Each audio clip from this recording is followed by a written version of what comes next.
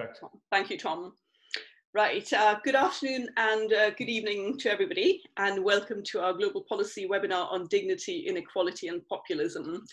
My name is Eva Maria Nag, and I'm the editor of Global Policy Journal at the School of Government and International Affairs at Durham University. Uh, this is the northeast of England in lockdown mode.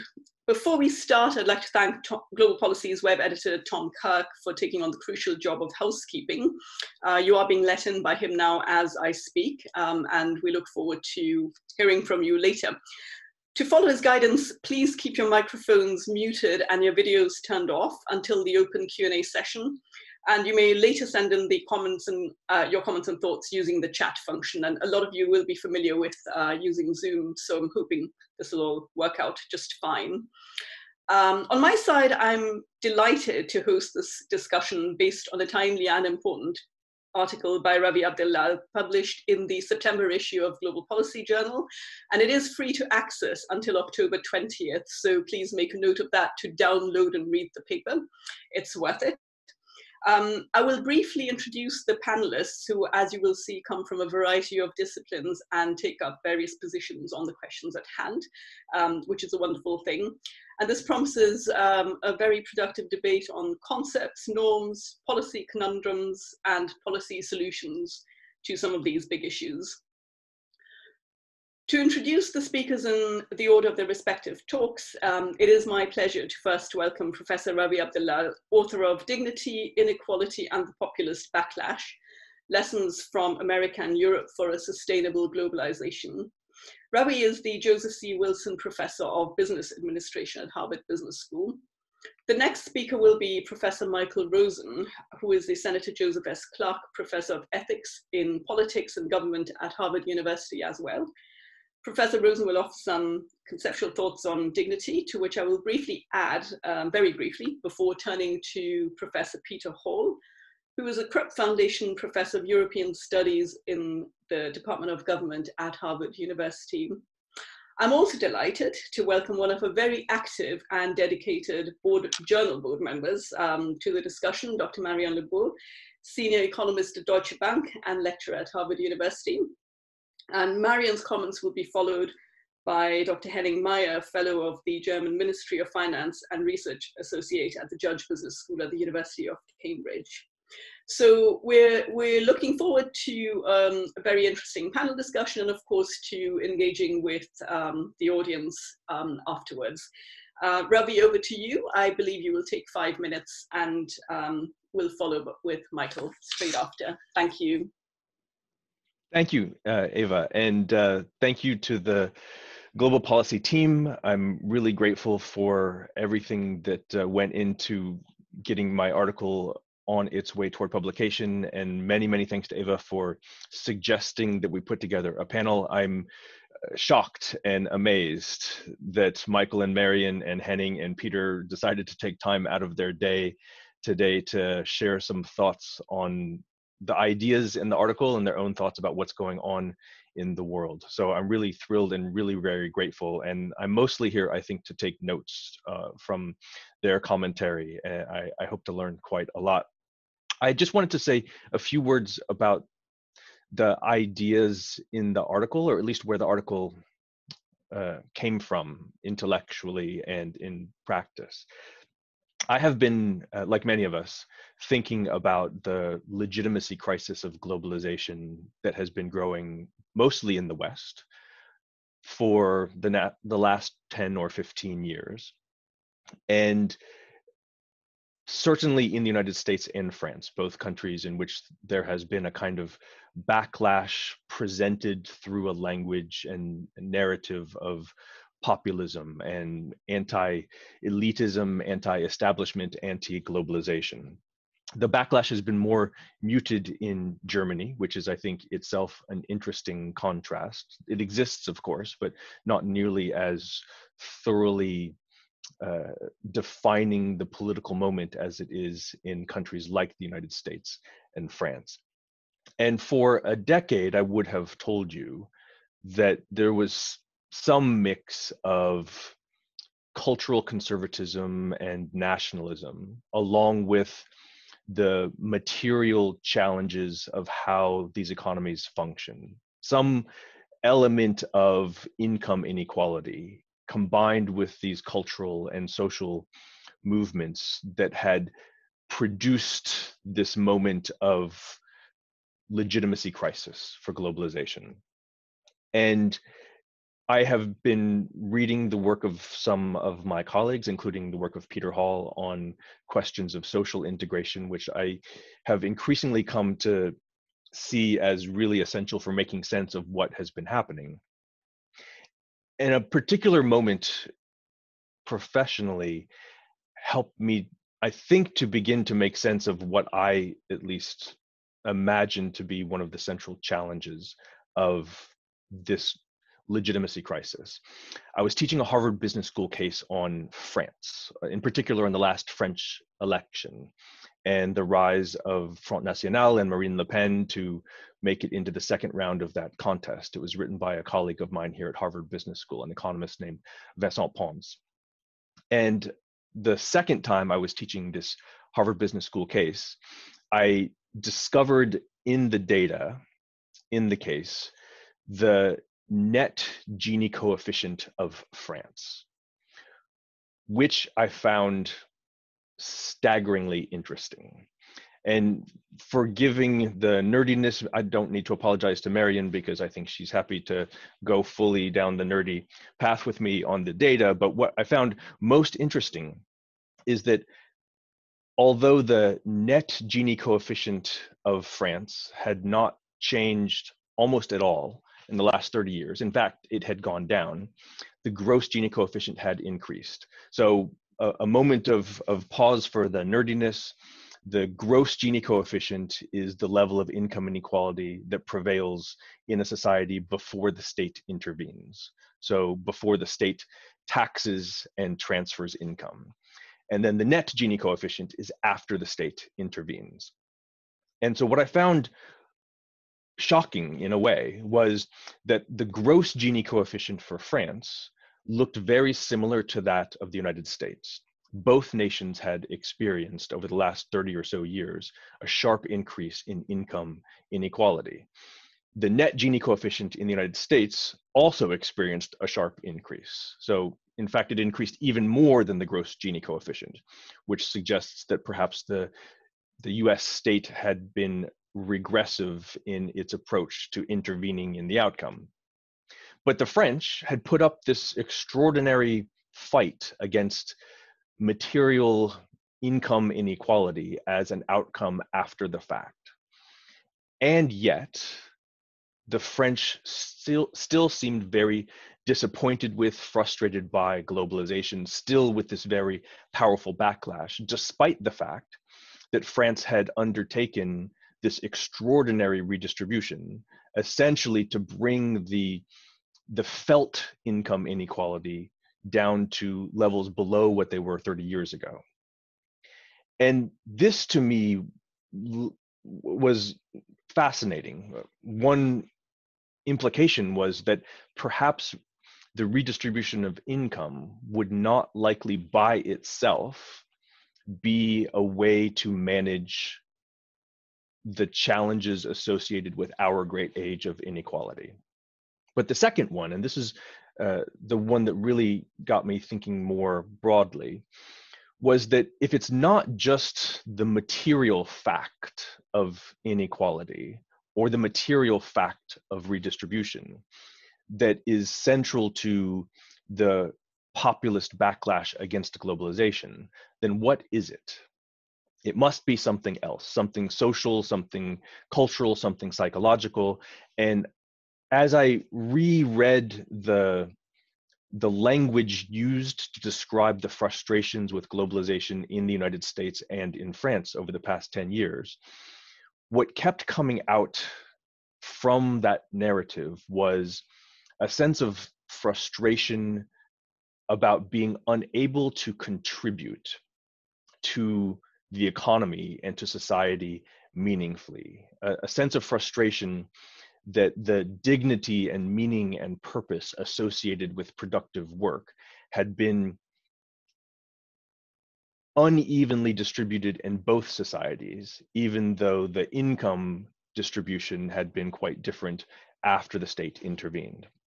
So it was really that something else going on that led me over the past few years to try to make sense of how I would tell the story beyond the material facts. And I am very excited to hear what everybody else has to say. I have my pen and paper. I'm basically here to take notes, and I'm delighted to have the chance to be part of the conversation. And so, thank you again, everyone, for joining us. Thank you very much, Rawi. That's uh, great. And uh, yes, the, the, the big questions here to be answered. Um, not sure we can do it this afternoon, but we'll try. Um, and I'd like to invite Michael Rosen to offer his thoughts um, and looking forward to that. Thank you. Thank you very much. And I should say, first of all, thank you to everyone for organizing this. I'm incredibly grateful to join the panel uh, to talk about Rawi's, uh, if I may, uh, extremely interesting and thought-provoking reflections on our present discontents. And I think there are two reasons why I'm particularly grateful. First of all, I'm going to be very honest. Um, I can hardly think of anything else these days. And I think that having these thoughtful, well-informed people with such different perspectives uh, to share their thoughts may well have a therapeutic value for me. Um, there's also something else that I have to confess right at the front, which is that philosophers very rarely get invited to this kind of interdisciplinary panel. And uh, when they're invited, they're very rarely, even more rarely, invited back. And I, I, think I should start by being honest and explaining why that tends to be. During the war on the BBC, there was an extremely popular radio program called The Brains Trust. And it was really a, a sort of collection of people with various sorts of expertise, and readers would ask them anything. And anyway, one of the people on the panel uh, was a philosopher now forgotten called Professor C.E.M. Joad. And he became famous, notorious perhaps famous, because he would always start, to, start his answers uh, with the phrase, well, it depends on what you mean by so-and-so. And uh, I'm indeed going to do that. I do understand that it's not everyone's cup of tea, but I think it's a déformation professionnelle uh, that we do that. Before that, though, if I may, I'm going to talk a bit about the structure of uh, Rawi's paper because I, I think that um, you know looking at it uh, with some uh, some some some clarity, if I can, uh, may be helpful. So he says that the problem that he sees is how to restore the legitimacy of global capitalism um, in the face of glo globalization. Now, why is that problematic? Um, in general, as he says, Globalization is, i will let you know when I'm quoting again, a story of those who feel left behind by the integration of markets for goods, services, and capital. And as he rightly said in his introductory remarks, the general story that people tell about this is a story about inequality. But again, as he pointed out, um, France. And if it's the case that France, as I'm sure uh, he has demonstrated, has maintained a very high degree of income equality or lower degree of income inequality than elsewhere. And nevertheless, the French are opposed to globalization. It points, Rawi says um, very uh, strongly, to the thought that ideas matter. I quote again, money cannot buy dignity or status. So with that, Rawi turns us to Germany, where things are different.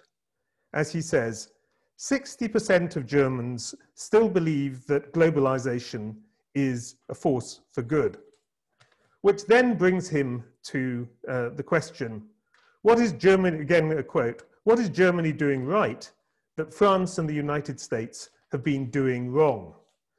To which he answers, again a quote, the German system produces a manageable distribution of dignity. The German model helps citizens find meaning and purpose through their contributions to society by their labor. And he goes on to specify three areas in which Germany is, he believes, distinctively successful uh, in their financial system, in their educational system, and in their support for social mobility. I should say that I've spent uh, a fair bit of my life off and on uh, uh, in, in Germany. I'm an, uh, an honorary professor at the Humboldt University. I studied in Germany, and I've even, even have a German daughter. So um, I, I, Germany is, is, is, is, close to my interests. Um, I will confess, though, that I also find it um, quite bewildering, but there's another matter. So I now move to comments, and I'll start with two major matters of agreement. First of all, and it's refreshing to hear this, uh, uh, the, those of you, I think, suppose it's most, who are joining us not from the United States, uh, will take this for granted. But for those of us who spend our intellectual life principally in the United States, it's refreshing to find that uh, someone who asserts very clearly that our present discontents aren't just US specific. As uh, Tolstoy says, every unhappy family is unhappy in its own way. Um, and certainly it's true that all dysfunctional polities are dysfunctional in their own way. But it would be beyond coincidence to think that so many of the, uh, the, the, the uh, countries in the liberal democratic capitalist world are going through crises of identity and legitimation to think that this is a purely uh, an aggregation of local phenomena. And if so, they can't be purely about economics. I wholly agree. Globalization has produced winners as well as losers. But the problems, it seems to me, seem much more widespread. So now, briefly and bluntly, some questions. First of all, what does Rawi see as the problem? He says it's the legitimacy of globalization. I wonder about that. Surely I'm concerned, at least, much more that people are undermining the norms and structures of liberal democracy. I'm much more worried about the second than I am about the first. Now, perhaps the two to go together, but it's actually very important to Rawi's argument because the evidence he adduces in relation to Germany is that 60% of Germans are in favor of globalization, which is about the first issue. But that would seem to imply that there aren't any strong internal challenges to liberal democracy in Germany itself. Whereas, and I say this without any data, I think that seems to be false, surely. Think of Pegida, think Pegida, think of the AfD, and so on. I don't think Henning will give me any, uh, any argument that Germany too feels vulnerable uh, and, and, and perhaps uh, even uh, more surprisingly. Now, as I say, I used to think I understood uh, Germany's success as a modern capitalist economy. Certainly, as a Brit who's been studying uh, politics and economics for 50 years, it's hard not to have reflections on the subject. After all, uh, it was and has been since the 1960s uh, the central question of the political class and economic class in Britain. Why are the Germans so successful and apparently more than us? But now I'm not so sure. And one thing that I would certainly want to, uh, to, to question that Rawi asserts is that the educational system is beyond question. I'm sure Henning will be able to say more about this, but uh, in 2001, the PISA study uh, carried out by UNESCO produced in Germany what uh, was called a PISA shock uh, to uh, correspond to the shock that the West underwent when the, the Russians put up their Sputnik. It was the, the thought that uh, Germany uh, scored extremely badly and for very understandable reasons in its educational system. I'm looking at the time um, and I will move swiftly.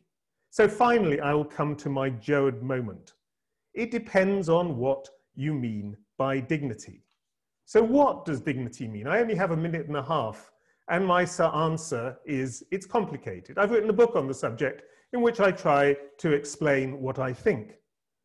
But in as much as it applies to Rawi's very interesting uh, article, the question is, is dignity something to be distributed, as he says? After all, the Germans say, die Würde des Menschen ist unantastbar. Sie zu achten und zu schützen ist Verpflichtung aller staatlichen Gewalt. So if that's the case, is dignity something that we all have equally? Or is it rank, status, place, or esteem? Rawi says money can't buy dignity or status. And then that uh, pushes us back to the thought.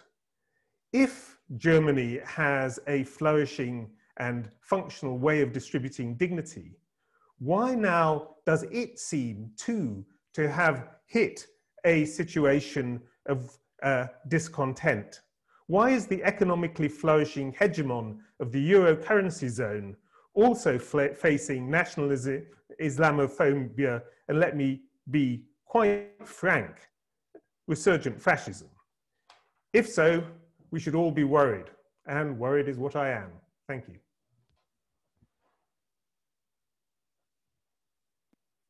Thank you very much, Michael. That was uh, wonderful thoughts and uh, mirroring some of mine, I guess. So um, I'll take up the baton here and um, go on with a few big picture comments. Um, Rawi, so thank you again for your wonderful paper. And what I'm picking up on um, is your comment that we need to bring dignity to the fore as a policy tool, and, and that is an intriguing idea. And again, um, I'm with Michael here in thinking about what does it what does that actually mean. So the three I've got three points to make. Two are related to labour and employment, and the third to the public sphere. So, the first big point that um, strikes me as being fairly important is that there's a challenge of gender that needs to be addressed when it comes to the idea of dignity. Um, and this relates back to populism. So, while populist movements not easily lumped together, despite some of their commonalities, but it is fairly clear that socially conservative populist movements um, do not espouse universal participation in the dignity according right to labor, for instance, and work. So we, we do have problems here. Um, indeed, female labor force participation rates across the world vary and are, are quite patchy. Um, these rates have been steadily increasing in European countries, um, but interesting in the US, we see a stagnation and actually a decline, a steady decline, uh, not steady, but notable decline since about 2000, which is worth noting. So I would say that although the reasons are complex and have to be differentiated by regions also within the US, um, I think comparisons with emerging economies in the global south show that there are significant correlations between the strength of socially conservative movements that espouse dignity for themselves, you know, where, where you bring up that it's, it, they, they felt left behind somehow. But these correlate with exclusion of women from the domain of labor. And that's something uh, to look at when looking at dignity as a policy tool. And the, the trajectories of post-World War II European countries are a historical case in point where we have seen this happen. So this means that it would be incumbent on policymakers to take seriously the idea of dignity as the universal norm um, and linking it to all human beings and delinking it from social status and social worth. Whereby, if, if, if you delink, uh, or if you take that seriously, the, the latter meaning, then you are um, you're tying dignity to exclusivist and hierarchical notions of status and honor. Um, and again, this is worth considering how, how do you, where's a thin fine line that policymakers um, can easily tread? And I think this could be a problem. So the abst to my mind, the abstract freedom to work and participate thus has to be realized within real labor markets. And the laws and regulations governing these markets, but they have to be looked through a, a more universal lens than has been so far the case.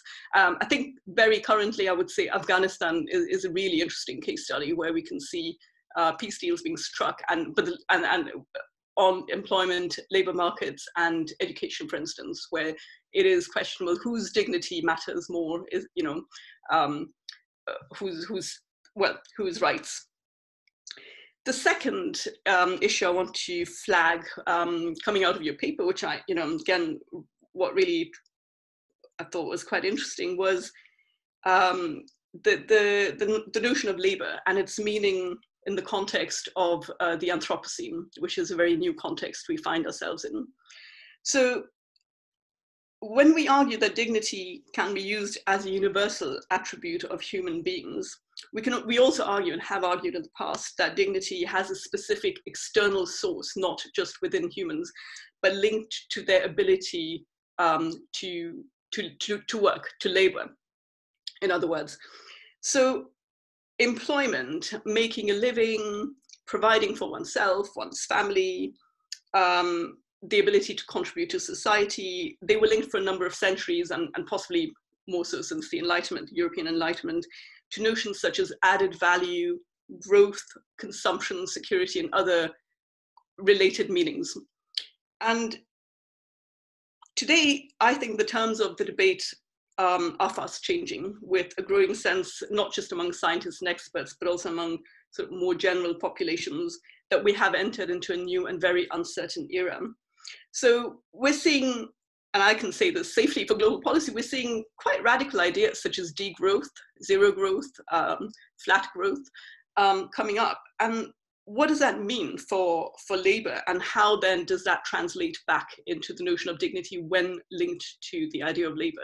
So there, I think this is, uh, this is more of a big question. This is not, not, not uh, an answer by any means.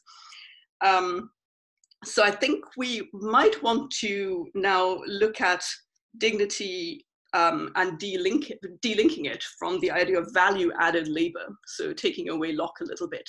Um, and valorizing meaning perhaps and this is something you do flag Rawi and I think you use terms interchangeably I, I, think we there may be a case for making them for differentiating between them rather than using them interchangeably um, given the new context so I think again here's a challenge for policymakers which is finding new instances of connecting individual dignity with labor and employment in ways more appropriate to the times we find ourselves in. And of course, we're still arguing how how to describe these times and what can be done. But I, I think we won't get around um, a discussion of that.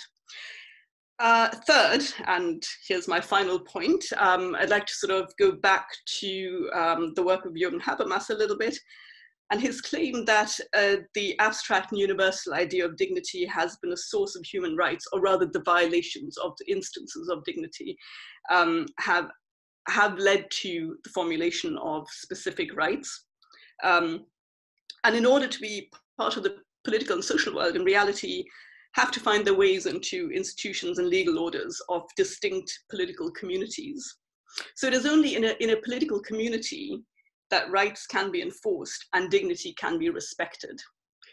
So in this sense, for Habermas, dignity has already performed the function of a political tool, um, which is, or as he puts it, dignity is a portal, and I'm quoting Habermas here, through which concepts of universalism and egalitarianism travel and are imported into law. However, um, I think again here we need to to ask some questions because this construct works when there's evidence, when there real evidence for an overlapping consensus on what dignity actually entails. And when there's consensus on what its violations entail, I, I don't think we can just take that those violations for granted and assume that we know when it is that dignity is violated. And I think those are also quite difficult questions in, in the concrete to answer the construct also works best when there is an ability of citizens to freely participate in the shaping of norms, laws, and government. Um, and there also, and this is uh, to connect to Michael's point, we we we're seeing problems with this, with uh, liberal democracies, um, sort of I don't external threat, but also internally. So where do we find ourselves now? What happens when the public sphere is fragmented or captured by special interests to the extent we see it now in, in many cases? And when there's little evidence for a workable overlapping consensus in describing the world, in analyzing it, and finding solutions. Um, so again, this is a big question. So for me, populism is not a single movement, even though there are commonalities. But I'm seeing a lot of populisms in the pluralism place. And this means are there going to be different types of dignities that we need to think about? Um, because at the moment we're working with a very optimistic idea of dignity as a tool to push back the fragmentation that Habermas was eh, interested in. But he looked at it through the lens of competing interpretations. What happens when there isn't that space for interpretation? In other words, when fragmentation is so clear cut and um, we're so apart that it's not about competition or um, or difference, but about parallel worlds. And I think this is where um, some the tool of dignity might actually fail a little bit. So if the various groupings that view violations of dignity as specific and unique and singular to their interests, how robust is the concept of dignity as a tool of interconnection of several kinds of inter interests? And that, that's a question I do have. So here, with these questions, I see an enormous challenge for connecting dignity with the now highly differentiated claims to rights, justice, and recognition, and linking them to these highly differentiated spaces we see in, in, in, in, a, in the globalized world, which are these are very diff, these are very far apart social, political worlds, and also spaces of labor. Labor markets also highly fragmented. And is dignity in the Habermasian sense now enough of a tool? And again, this is a question I'd like to end, end on. And um, here, and I think probably ends the conceptual part, and we, we will probably now move to the, to the data. Um, and I'm very pleased that Peter Hall will be speaking now. And uh, thank you, Peter. Thanks, Eva. Thank you very much for inviting me to comment on this very provocative paper by my uh, friend and colleague, uh, Rawi Abdelal. Um, I want to sig signal, and I will signal, a few points of strong agreement uh, with the paper. Uh, but uh, Bill Cosby once said that whether you see a glass as half empty or as half full depends on whether you're pouring or whether you're drinking. And as a commentator, of course, I'm drinking. Uh, so I'm going to have to identify a few points of uh, disagreement. Uh, let me start with uh, points of agreement, and I'll be relatively brief because I want to leave time for people to ask questions. Um, yes, uh, while I certainly think that a robust social policy is important in this uh, era of globalization, I agree with Rawi that redistribution is not going to, in itself, uh, dissolve the populist backlash. Uh, seeing this as a problem of compensation, as many IR scholars do, uh, has some merit, uh, but does not speak uh, to the problem. And in that sense, I think the broad import of the paper is exactly on target. Uh, and indeed, some of my own research suggests that uh, supporters of right populist parties, for instance, are not actually very supportive of redistribution, uh, probably because they think a lot of it goes to immigrants and they're interested in drawing strong boundaries between themselves uh, and immigrants for reasons we could discuss. And so, yes, I think the emphasis that Rawi puts on dignity is uh, exactly right.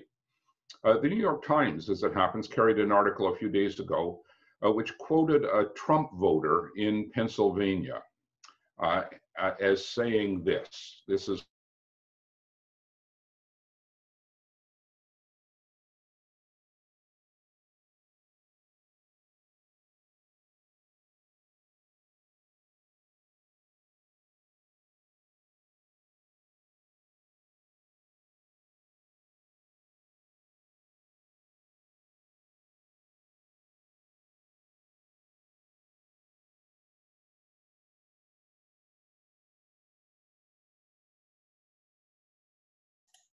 Can anyone hear me? Um, Peter, I've lost Peter at my end. Peter's back, but he's muted. There we go. So did you lose me? Did you lose my wonderful quote from the New York Times? We lost you right before the quote. Oh, before the quote. Oh God, yeah. I'm sorry. I'm sorry. I don't know what's wrong with my connection. Well, here, this is um, uh, quoting a Trump voter in Pennsylvania uh, saying this: uh, "Look, Hillary Clinton and the Democratic Party make me feel bad about myself. Donald Trump makes me feel good about who I am. I only have a high school education, but I got a good union job. I go to work every day. Why am I a bad guy? Hillary's calling me deplorable. And I think that quote speaks volumes. Uh, and for Rawi's argument, it really cuts both ways. On the one hand, uh, it does suggest that dignity is central, and I think that's right. On the other hand, it suggests uh, that the structure of the economy is not all that matters uh, to dignity. Uh, this has something to do with how people think about other people, uh, the character of public discourse about who has a worth in society and who does not. Uh, Michael Sandel's recent book, along with some others, about meritocracy, I think is very relevant here. Uh, the notion that has become increasingly prominent that um, we get what we deserve uh, tends to blame those who don't get very much for not getting very much. And there's a way in which um, that uh, speaks to people's dignity. There's a way in which this divide that has become increasingly important in the knowledge economy between people who have a college education and people who do not uh, is something that is a, a matter for political discourse to address, as well as something we need to address at the level of the economy. Now, moving closer to Rawi's argument, um, of course, many things matter to dignity. There is more than one way to secure dignity, and uh, Michael's book about this subject is uh, something I would recommend. Uh, but certainly, uh, one thing that matters a lot, in my view, is employment. And what I would call uh, the key variable here is access to a decent job. Uh, by a decent job, I mean a job that's relatively well paid so you can support your family and a job that isn't so precarious that you're afraid you're going to lose it uh, next week or the week after. And I think this emphasis on employment is entirely consonant with uh, uh, overall argument. Indeed, uh, in citing the case of France, where the populist backlash is um, very strong, uh, might have noted and uh, maybe um, Marion will have more to say about this. Rawi might have noted that uh, more than two thirds of all jobs created in France in the last several years have been temporary positions.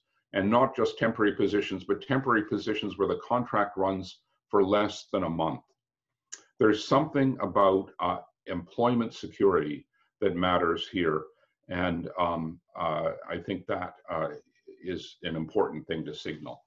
So um, if we think that having access to a decent job is really crucial, uh, at least two things matter, uh, I would say. The first is equality of opportunity. Does everyone have a chance to get a decent job? And uh, this is something Rawi emphasizes, and I think here he's quite right uh, to emphasize it uh, and to point to the importance in the US in particular of raising the quality and standardizing the quality of primary and secondary education and providing a better vocational training. So if equality of opportunity is the first uh, key factor that seems to me to matter in this context, the second, which might be emphasized more than it is in the paper, I think, is a matter of raising the quality of existing jobs. Uh, we need a living wage, more benefits and protections for workers and the like, basically so that the working poor are no longer poor. Uh, and, you know, that may seem like a truism, but it's more than a truism in the political climate that we live in uh, today. And this uh, takes me in closing, because I want to leave time for discussion, to two points of uh, friendly disagreement uh, with the paper. First, um, if we're thinking uh, about the broad uh, issue in terms of dignity uh, and in my terms, access to decent jobs, I think attitudes to globalization are a bit of a red herring here. Uh, those attitudes uh, are a function of political discourse more than anything else. Yes, they can be linked to the structure of the economy. The fact that Germany is such a powerful export economy surely inclines many people to be more supportive of globalization. Uh, but I think it's no wonder that there's antipathy to globalization, as the paper notes, in France and the US. As Rawi knows very well because he's written uh, many things about France, uh, French governments for the past several decades have essentially attacked globalization, demonized it, while effectively uh, supporting it uh, behind closed doors in the European Union. And in the US, we also see a strong anti globalization uh, discourse. So I think this aspect of the backlash is in large measure a political uh, creation. Uh, and my second uh, point uh, is that I'm not yet convinced that better support, uh, financial or otherwise, uh, for small and medium-sized enterprises is quite as central to the solutions here as my reading of the paper suggests. There are a lot of small and medium-sized enterprises in the US, uh, and yes, there's more churn among them than in Germany, uh, but uh, I would accord the strength of the German trade union movement and uh, the long-standing public regulation of working conditions, which Wolfgang Streeck has once called beneficial constraints, as much more important uh, to uh, the outcomes that uh, discusses in the paper. So if there's time for Rawi to answer questions, and if I don't stop talking, there won't be, I'd like to hear more to persuade me that this issue of supporting small and medium-sized enterprises is really uh, the feature of the political economy on which we should concentrate. But I enjoyed very much reading the paper. I heartily endorse its main message, and I'm grateful to have the chance to comment on it. Thank you. Thank you very much, Peter, for your comments. And I think I'm sure we'll have time for Rawi and others to to comment on on, on your uh, your notes, and this is very helpful. Um, Marion, uh, can you take up from here? Thank yes, absolutely. Yeah. Okay. So good afternoon, everyone, and uh, many thanks, Eva and Rawi, for the invitation today. I'm very glad to be part of this amazing panel. And uh, Rawi, let me say that I have really enjoyed reading your paper and uh, I shared most of your views actually. So I have shared, I have prepared a few slides. And uh, first, let me start with a few thoughts on your paper. Uh, you did a very great job at explaining the situation. And um, I have two things that I wanted to specifically add. First, uh, you have this uh, great chart I found very interesting here when you look at historical data for the educational attainment of adults American over 25 years. And I found it pretty interesting, and I would love to have your thoughts on that because, uh, as you explained, uh, the number of higher education degrees sharply increased.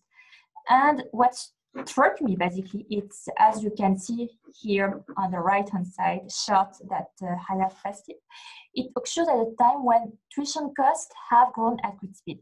And here as we can see in less than four decades the cost of attending a public four college in the US has been multiplied by four. And at the same time here on this flat line I have included the median American household income which has also remained relatively stable at the same time. So as a result, the student loan debt in the US has grown rapidly since uh, 2008, and uh, it's now around 1.6 trillion dollar in uh, 2019, which is just as well. Uh, second thing that uh, you also mentioned, uh, you mentioned that within inequality has uh, increased, specifically in France and in the US. But um, I wanted to say that actually globally, uh, we tend actually to see half of the picture because if we look at the full and global picture, the worldwide picture, we can uh, see that the truth is slightly different. And since 1980s, the gap between low and high income countries has been steadily narrowing. And this has led to the continuous phenomenon of convergence between countries. And we have been moving away from a great divergence across countries in the world toward a period of great convergence in which inequality between countries since the 1980s has been falling. And so for the 1990s, if we look at the cumulative GDP of emerging countries, uh, it was around barely a third of the cumulative GDP of the G7 countries. And by 2016, this gap had actually virtually disappeared. And this is probably mainly uh, driven by significant income growth in low income countries and particularly China, as the middle class uh, has been risen very strongly. So in your paper, uh, you also mentioned uh, very quickly the COVID-19, and uh, I wanted to add two things on that. The COVID-19 is actually unlikely uh, to revert this inequality trend within countries. So if we go back to the US inequality, which is the main point of your paper, if we look at the short term, uh, the COVID-19 is clearly unlikely to revert this uh, within inequality trend, as most countries have ordered uh, work from home when possible, and the higher paid office-based workers are benefiting from this work from home abilities.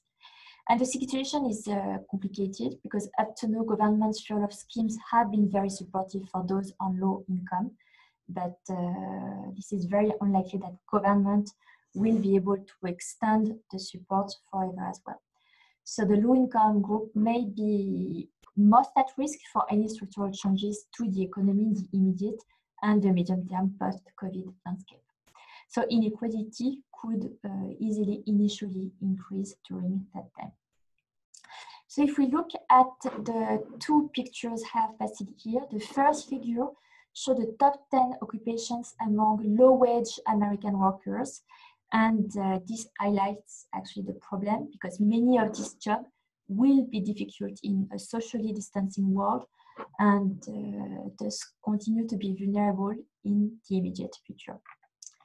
And if we look at the second picture here, at the other end of the spectrum, uh, this figure shows how much easier it has been for those on the highest income to work from home who are less at risk in terms of immediate job security.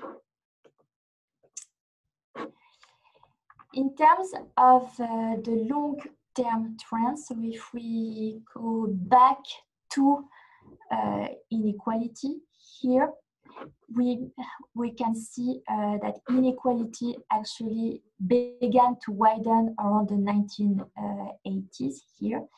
And it is already now at extreme levels where politicians are more united than ever in trying to tackle the issue. And the low paid uh, workers are suffering much more in this immediate post COVID landscape situation. And the wealthier are being better protected and this will uh, create much more inequality tensions and the need for politicians to react. So we can expect uh, some pressures for taxes to go up after the pandemics and especially for the highest paid and the most powerful companies. So as you can see on the second chart, um, which uh, where I have passed the statutory corporate income tax rate. There is little doubt that the, the period since the early 1980s has been very favorable for corporates and globalization has uh, probably helped them in many ways with cheap labor, access to wider pool of consumers, a competitive tax environment where countries have conducted a tax arms race to encourage domestic investments and jobs. So here, basically, this chart highlights the continuous downward trend that we are seeing in the statutory corporate income tax rates since the 1980s.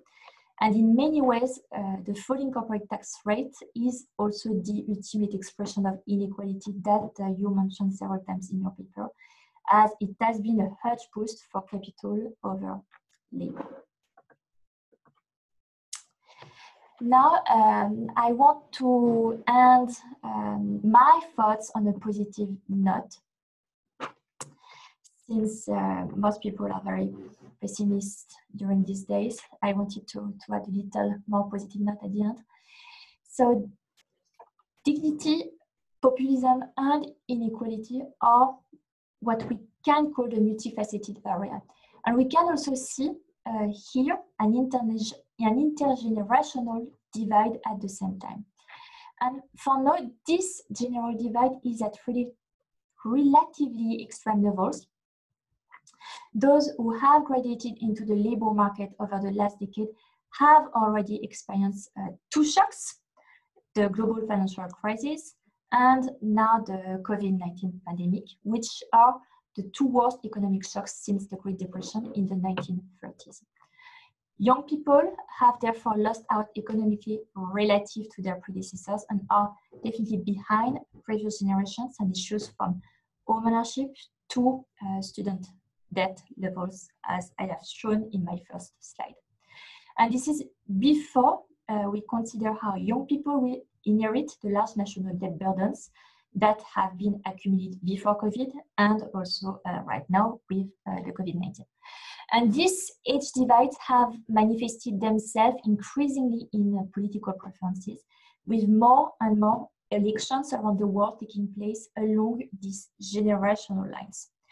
And here on this chart, um, so this is uh, the chart on the US elections, and the second one is on the Brexit. And if we look at these two biggest political decisions on either side of the Atlantic, the Brexit referendum and uh, the election of Donald Trump here, both saw such a divide along age lines to the point that a large majority of young people faced an outcome that they had not voted for.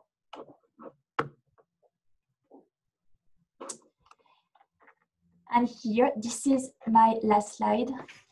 So here on this charts, uh, if we look forward, this first figure shows that over the last decade, less and less millennials are registered voters who are Republican.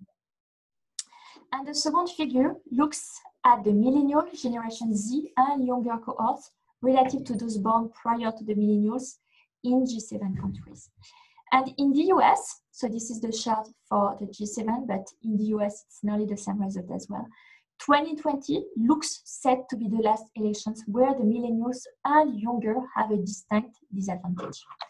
So we could expect a seismic change in the major election within the next decade and reverse policies that have favored those born before uh, 1980s. And this could include a harsher inheritance tax regime, less income protection for pensioners, poor property taxes, higher top-end income tax, higher corporate taxes, and uh, very likely more redistributive policies. So this new generation may also be more tolerant of inflation, as it will erode the debt burden it is inheriting and put the pain on bondholders, which tend to have a bias towards the pensioner generation. So even without an extreme electoral shift, as the left behind post-millennial generations become more electorally powerful, this, this is likely to increasingly shape uh, the policies that we are going to have. And these uh, policies are very likely to be more mainstream and uh, probably less right-wing policy as well. And I will stop there so we can have time for questions. Thank you. Thank you, Marion. That was great. And thank you for the very insightful slides. That's wonderful to see. Um, and I think um, well, it's time for our final speaker, Henning, who okay. will take up. Hen can you hear me? Yes. I can hear you. Can you hear me as well? Yeah. Okay. Thank you very much. Uh, well, first of all, let me say that I'm obviously speaking in a personal capacity, so don't hold the German government the Ministry of Finance responsible for any mad, mad thing I might say here. Um, so it's it's obviously on a purely personal account. But at the same time, obviously, it was a very interesting time to start a two-year stint in government. Uh, at this time, I started in April, and ever since I've been um, involved in the fiscal response to the Corona crisis, and in particular the uh, schemes uh, designed to help SMEs. So, and I'll try to relate that kind of very up-to-date policy work to some of the topics we've been discussing. And at the same time, obviously being the last speaker, uh, is obviously bad because all of the good points have already been made by the uh, speakers before me. So I'll come back to Michael Sandel's book and also to Jürgen Habermas, um, but I'll try to be as brief uh, as possible. Uh, let me start with a few remarks on, on education and education in Germany. And of course, Michael Rosen is, is absolutely right. I mean, the, the PISA uh, study uh, was a bombshell when it was uh, uh, presented. Uh, and he's also obviously right that there are strong tendencies, especially also in some regions, of fascism, right-wing extremism, and so on and so forth. Um, and I would say, in, in response to Rawi's um, argument, that also in Germany the trend has been to be to see a university education as the the way to go. So I would say that's a, that's been a universal trend and it's certainly been the case also uh, in Germany. A few years ago, there was a book called The Akademisierungswahn, uh, which made exactly that point that it's actually madness to uh, undermine the own uh, dual education system uh, with the apprenticeship scheme working so well. Uh, but you know that tendency has also been very present in Germany, and it's also related to a political message because the idea of social mobility through education uh, has been at the forefront of social democratic politics for uh, quite a long time. So moving away from this is, I think, a quite tricky uh, concept. Uh, you can also see that a lot of apprenticeship uh, placements cannot be filled at the moment. So uh, that system is in somewhat is in some sort of transition as well, I would argue. And if you look at, at figures, for instance, about you know how many students take up a, a university education, uh, it would also be worthwhile, I think, in the case of Germany, to look at the University of Applied Sciences, uh, which are normally not uh, looked at independently, because here the uh, the the student numbers have almost ex have exploded over recent years. So I've just got the figures from 1999 to 2014. Uh, they more than doubled uh, in in that period, and the the growth is also expected to be uh, pronounced in, in, in, the years to come. So that's a hybrid uh, sort of higher education institution um, below a, a sort of standard Angli uh, a standard university that's based on um, sort of fundamental research, but uh, with a more applied uh, uh, outlook for those who are not familiar with the system so the the growth in that particular part of the of the uh, higher education sector i think is also quite interesting. And also in germany i would say uh, you know the dignity of work needs to be reconceptualized in a way uh, that preserves the the strength the historic strength of the system but at the same time uh, gives new impetus in one way or the other to that old promise of social mobility through education. So um, my, my point would be uh, that even in, in the German case, uh, based on your analysis, this uh, the German case has not been immune from the trend uh, that you have been uh, describing.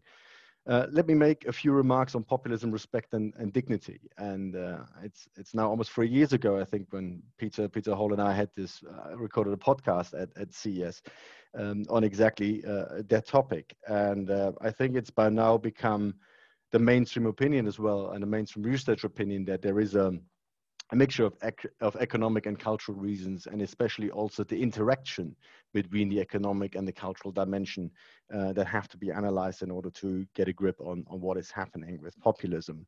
And uh, I was, I've been reading Michael Sandel's book recently, and uh, in many respects, I think it has been an eye opener. Um, and especially when I read the, right towards the beginning, the, um, the part that he also attributes some of the blame to what has happened to the third way reforms of social democracy in the 1990s. I was immediately reminded uh, uh, about a, an article that Jürgen Habermas published on the website that I run a few a few years ago.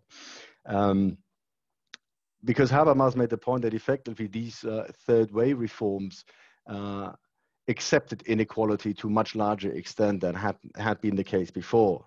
And he made the point that, and this is a quote, uh, this price, uh, the, the economic and socio-cultural hanging out to dry of ever greater parts of the populace has clearly uh, given rise, uh, has clearly risen so high that the reaction to it has gone over to the right. And where else? If there is no credible and proactive perspective, then protest simply retreats into expressivist, irrational forms. So he basically made the argument that, you know, with this third way reform, uh, as no other political party has, in that sense, represented uh, what he called a wider democratic pluralism, uh, because he basically diagnosed a narrowing of democratic pluralism. Uh, because there was no representation in the party political system, the reaction to what has happened had to go to somewhere else, and, and this led the way uh, to, or at least helped to bring about right-wing populism. It's an interesting thought that as an unintended consequence of the reform of social democracy in the 1990s, you might have given rise uh, to right-wing populism. Uh, but if you look at uh, some of the reforms, for instance, of the welfare state, uh, some of the rhetoric clearly enshrined what Michael Sandel now uh, explained as the, uh, the tyranny of merit. one picture that I would like to refer to is the social trampoline, where the welfare net ceased to be a net, but it was ought to become a trampoline uh, because it was no longer a, a, public insurance that basically insures you against life risks, but it was an enabling instrument that tries to propel you back into the labor market as quickly as possible. So in that sense, the, the, the rationale of the welfare state uh, had changed completely. And, um, and, you know, as part of this right-wing populist uh, surge, one of the key sentences that was very prominent in the Brexit discussion uh, has been uh, taking back control. And I think this is a, this is a very crucial mechanism and uh, completely unrelated, I came across uh, another uh, passage of, of, of Habermas in a different article uh, where he said, like all symptoms, this feeling of the loss of control has a real core. The hollowing out of national democracies that, until now, had given citizens the right to co-determine important conditions of their social existence. So if you go back to Sandel's argument, uh, and even if meritocracy were achievable, and he makes the point that obviously in reality uh, it is not, it would still create this hierarchy uh, and attribute blame to those who don't make it to the top to the individuals who simply didn't make it because they are the only ones to blame.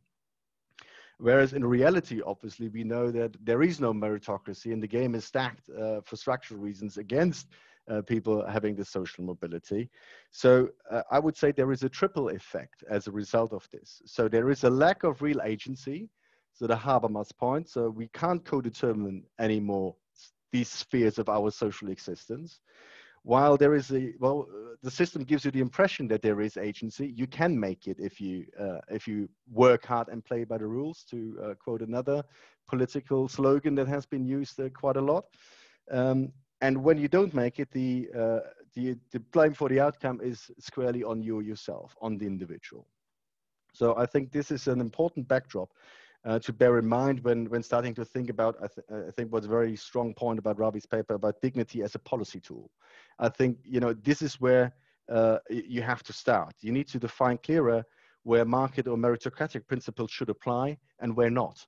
And where um, you know commons or public uh, uh, public goods should be should be uh, the way how how the, the public life is organized and as a second point wherever possible you should expand the the scope of agency uh, in order to give back control or at least participation to people and let me when working in policy now, um, I came across very uh, anecdotal evidence, but I think it's very uh, interesting and might very well give rise to uh, some research that I, I am very interested to be involved in when I, when my time in government is over.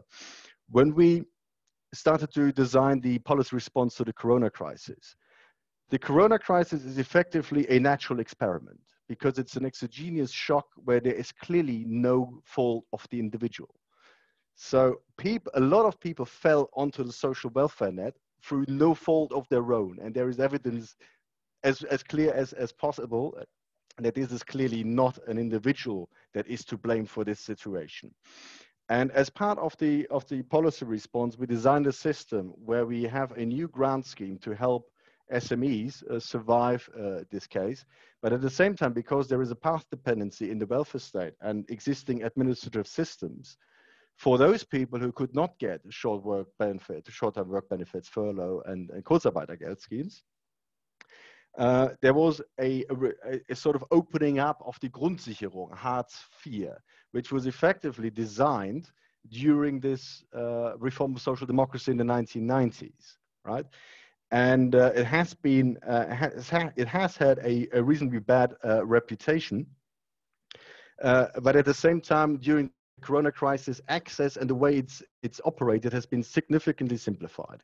So you don't you can have more assets uh, that you that you can uh, keep without you know losing your access to social benefits. Your existing flat the rent was paid for or even the mortgage was paid for right? So obviously you didn't have to look for a new job. So all of these elements that have been uh, been perceived as as mean uh, they're, not in operation anymore at the moment but at the same time, especially with self-employed people, we've seen a very strong resistance not to take up this offer. And uh, as an economist, you simply couldn't explain it because there is money on offer and people leave it there. And the, my working hypothesis is, and, and this was very clear when I came across a, a statement by one of the uh, people who, who are now unemployed and, and are not taking up the offer, is one of dignity. And that's why my argument would be uh, it is not just about the individual. The, the problems underlying um, populism can also permeate institutions. And I'll, I'll, tell you the quote, and this is from a Spiegel article where uh, she basically gave her reasons. She said, Hartz IV has a connotation of failure that you relate to yourself. I therefore prefer to call it ALG2, Arbeitslosengeld II, uh, because Hartz IV simply sounds awful also to me. It is a dead end that you cannot escape from. I think the association is that you have hit rock bottom. You have the feeling that you have given up or simply have failed. So this is a case where somebody is offered governmental help through an institution that is perceived as being for the ones who fail to make it in the system. And we have now anecdotal evidence that actually the take up is resisted. And my working hypothesis would be the, the more your identity is defined by, say, economic thinking, the more likely you are to take up the help. We have anecdotal evidence that in Berlin-based startups, they actually write that in their business plans, right? So there is free money here, we'll take it, it's fine, right? But the more you move into the cultural scenes, actors, singers, people who, who identify themselves in their persona as contributing to society first and foremost, the, the further away from the economic reasoning you get, the more likely you are to find resistance to taking up uh, this kind of help. They would take less money from a different source than taking the money from this particular institution. So I think this is uh, also for public policy research a, a fairly new phenomenon. Um, and that gives me actually uh, a reason to believe that some of the problems we are trying to deal with run much deeper than, than we, uh, we have conceptualized so far. Uh, because if you think it's just a policy fix is possible in order to address this, um, it's not going to cut it. I think the, the, the, problems run much deeper.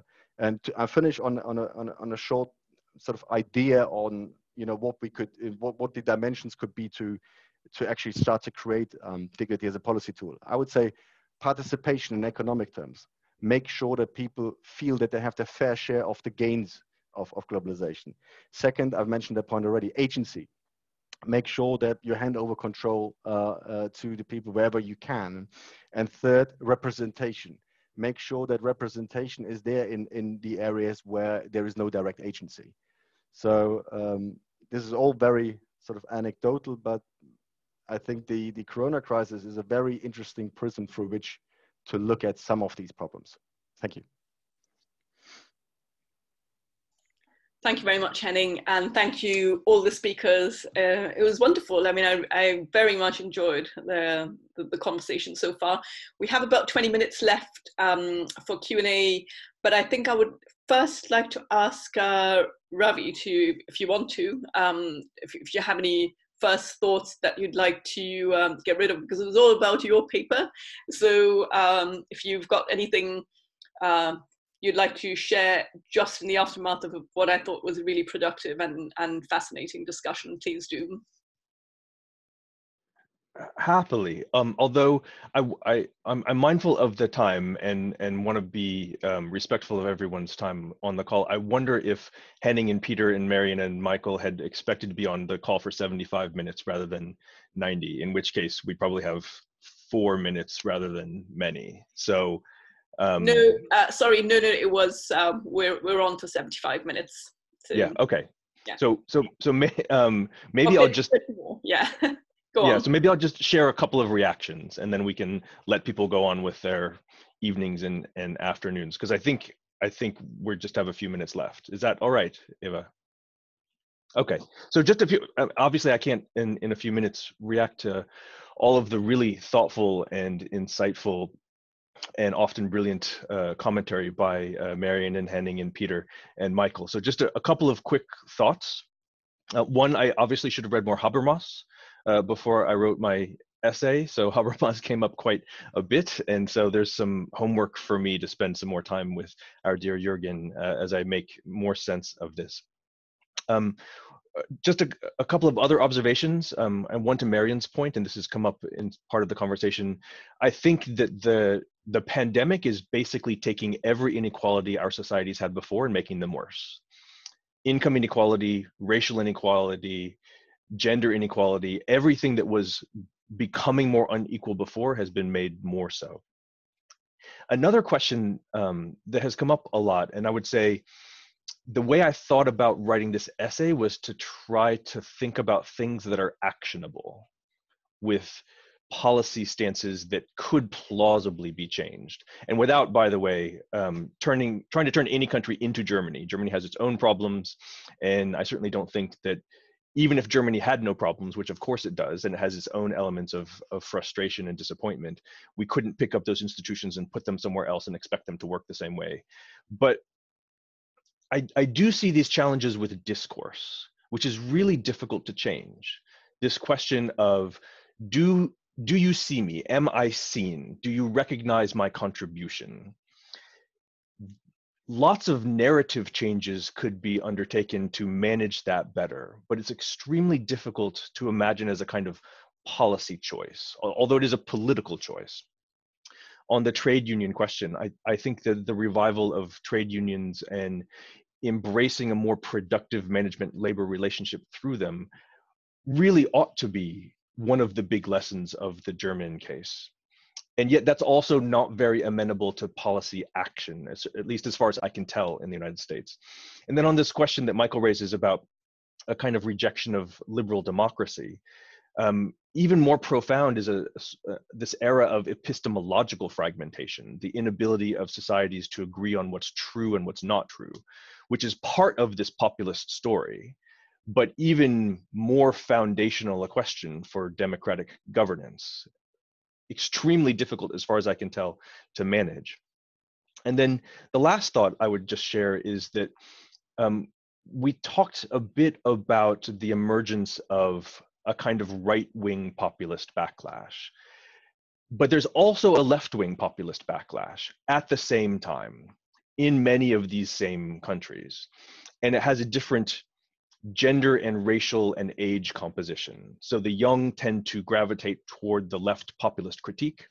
Racial justice and, and gender justice questions are embedded in the, in the left populist critique, along some of the same lines of is this fair am i seen is are my contributions being recognized whereas the right wing populist reaction is much more focused on men not on women and not on racial minorities and certainly much less a question about um, about the young and so i worry that we're not going to sort of age out of this uh, for a variety of reasons if we think about the support for m5s in italy that skews very young.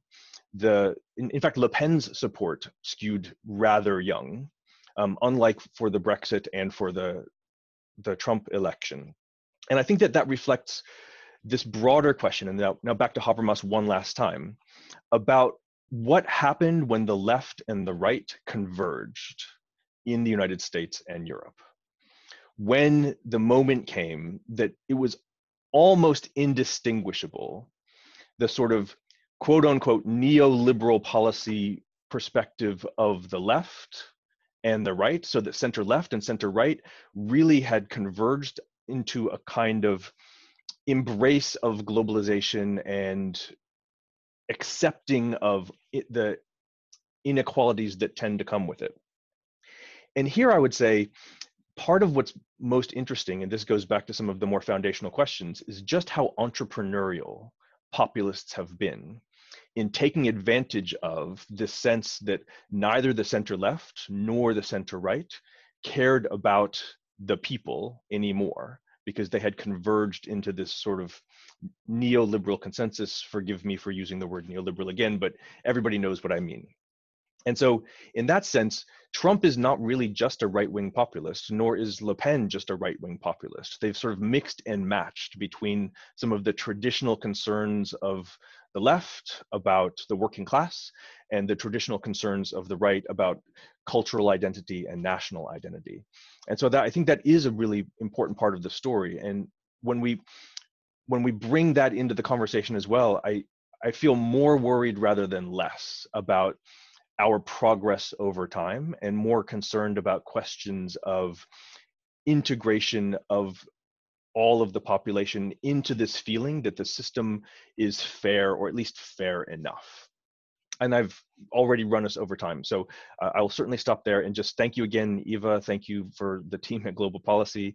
And thank you to Michael and Marion and Henning and Peter for spending some time with this paper. I am really grateful. I took lots of notes and I'm excited to go back and, and uh, look through them. Thanks, Rawi. Thanks for your, your closing comments. I'm going to keep the room open for another 13 minutes or so because I think people may want to ask questions, if that's all right. We've got one um, one here from for Marion actually, whether you might share your presentation. Um, I don't know what the best way of doing it, um, Marion. I don't know how you might want to do it. I can share some slides. I, I will I will send you the slide I can share. Yes. Yeah. So is there anybody in the room who would like to come in now? Um, raise a hand and Tom can probably see it. I can probably see it.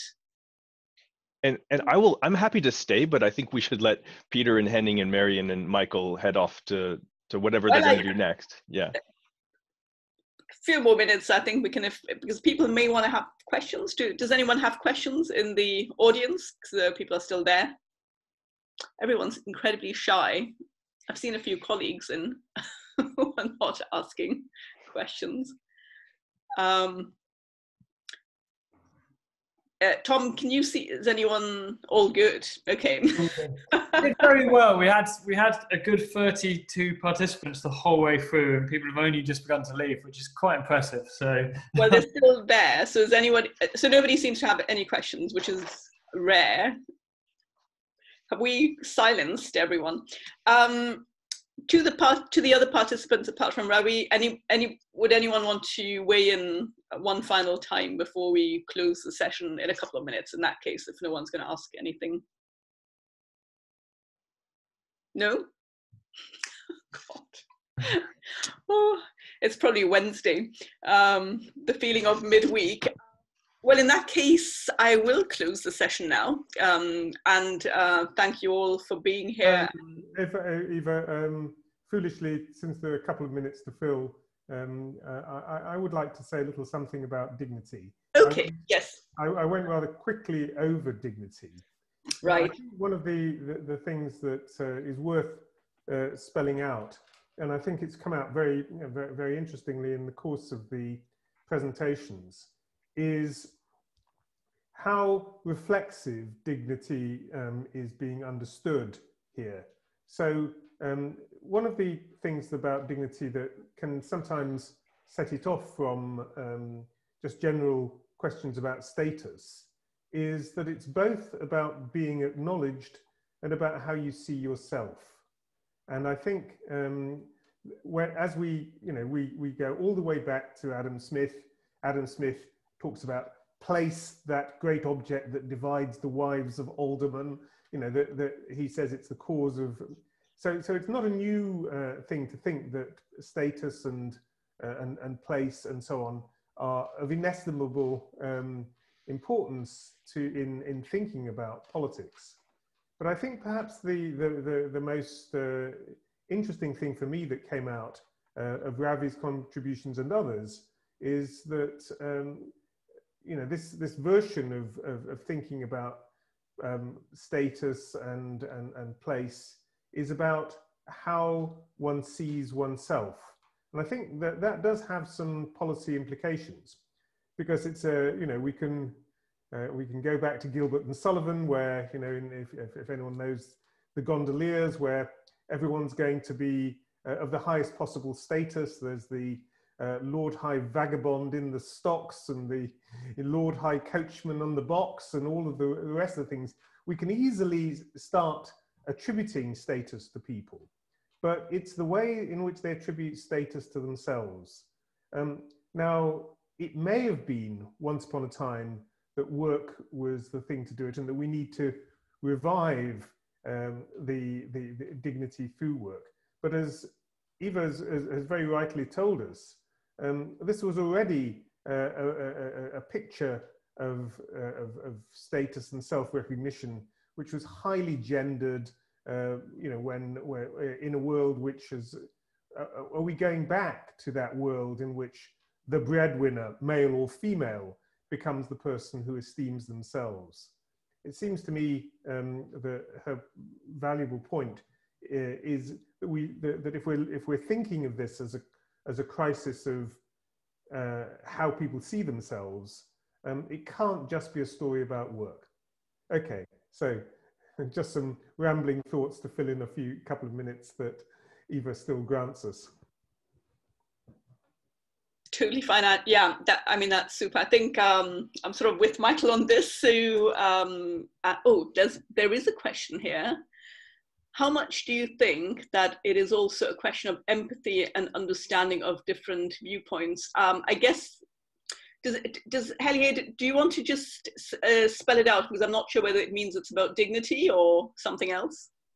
Uh, yeah, yeah, sure. It's it's more about how um, there seems to be a lack of empathy on different viewpoints. So rather than listening and understanding to say someone else's view, whether they're uh, Labour or Conservative, whether they're pro-immigration, anti-immigration, and it's and it's more about how society's lost that kind of um, appreciation for different viewpoints and how much that is affecting populism at the moment. That there's just a uh, a lack of appreciation for uh, multiple viewpoints, and that that kind of fires people up into this type of tribal um, positions.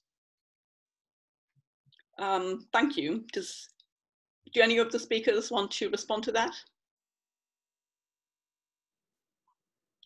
I, think it also feeds into Michael's point about um, the, the loss of a liberal consensus as well, right? That, in other words, a functioning liberal democracy only functions well when different viewpoints are taken seriously and respected and, and interpreted somehow.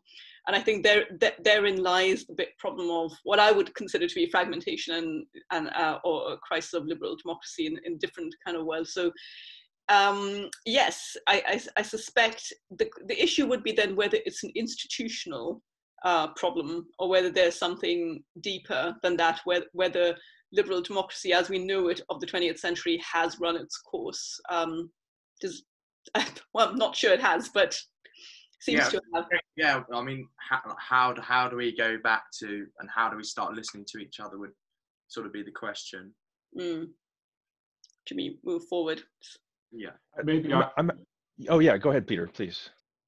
I, I just want, I, I think this is an extremely good point, and um, I, in response to it, I, I simply want to say that um, I think you're right, um, uh, and I think there isn't an easy solution. Um, uh, but, I'd want to uh, argue, maybe as a political economist, that um, this is not unconnected to the economic situations that people find themselves in.